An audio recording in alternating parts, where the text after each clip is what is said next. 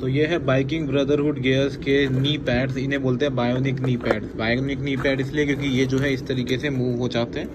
तो इस तरीके से जब आप इसे घुटने पे पहनते हैं तो ये इस तरीके से मूव हो जाते हैं और ये क्या इसके स्टिकर्स उतर रहे हैं। ओके सो ये आप परचेज कर सकते हो लगभग अट्ठारह सौ रुपये में और ये ना एक अच्छा ऑप्शन हो सकता है जो नए नए लोग राइड करना चाहते हैं। तो ये एक अच्छा ऑप्शन हो सकता है।